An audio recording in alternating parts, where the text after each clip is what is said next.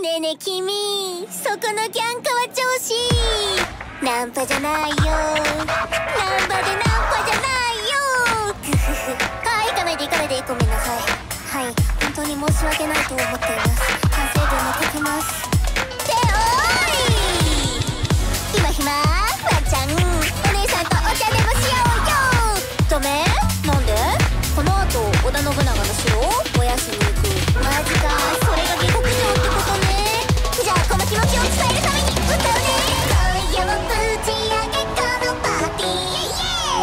look out.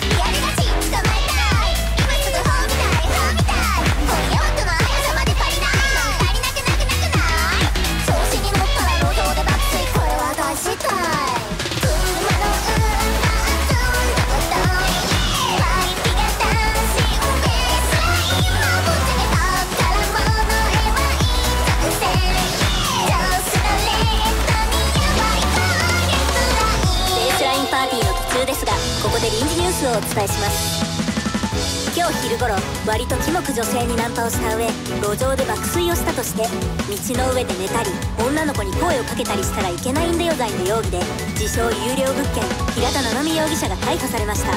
容疑者はかったのは認めるけど私だって可愛い女の子とおしゃべりしたいしたいしたいしたい。したい嫌だ嫌だ嫌だ嫌だニュースをお伝えしました。